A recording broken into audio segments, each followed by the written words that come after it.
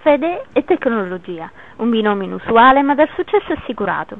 Chiedetelo ai due trentenni siciliani, Barbara Labate e Francesco Italia, titolari di una società, la McKay Sisters, con sede a Milano, che si occupa di contenuti editoriali per telefonia mobile.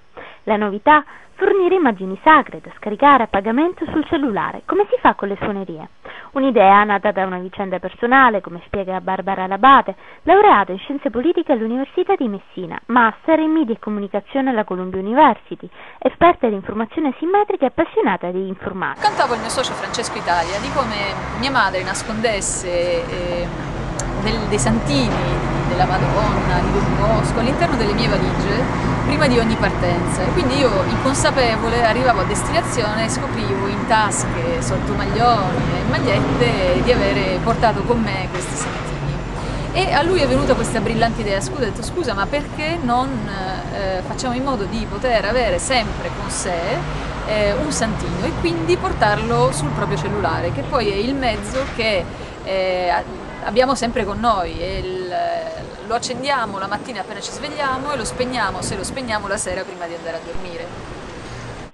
Da qui ai mille abbonati in soli 20 giorni fino alle richieste d'oltreoceano il passo è stato breve.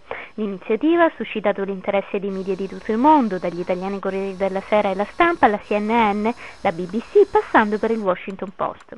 Tra i più gettonati Papa Voitila, Padre Pio e sorpresa Santa Lucia. San Patrizio invece è il prediletto dagli americani, seguito dalla Vergine di Guadalupe, per il mercato degli immigrati messicani. 30 le immagini a disposizione, ma ben presto ne saranno aggiunte altre. Il comune di Lentini, ad esempio, ha chiesto che sia inserito anche Sant'Alfio, patrono della città.